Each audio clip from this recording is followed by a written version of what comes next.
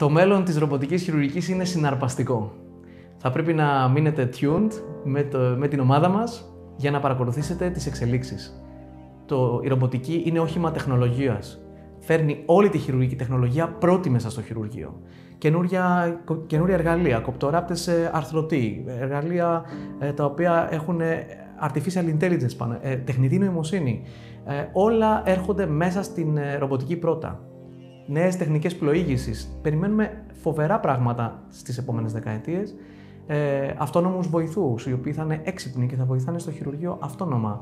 Ε, ξέρω τι σκέφτεστε, αυτόνομος χειρουργός θα αργήσει λίγο να έρθει, ε, ωστόσο προχωρούμε πάρα πάρα πολύ γρήγορα, πάρα πολλές μελέτες σε πολυτεχνία all over the world ε, δουλεύουν σκληρά για να φέρουν το ρομπό του μέλλοντος.